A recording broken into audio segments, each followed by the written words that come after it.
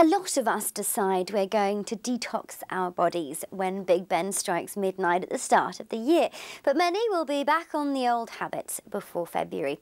However, moringa leaf powder may help your body stay fresher for longer. It might not stop you drinking again, but it may help to protect your body from the negative side effects. Moringa leaf powder may do this in a couple of ways, with the first one being its ability to stop the toxins from attacking your body's cells, helping to keep them performing normally.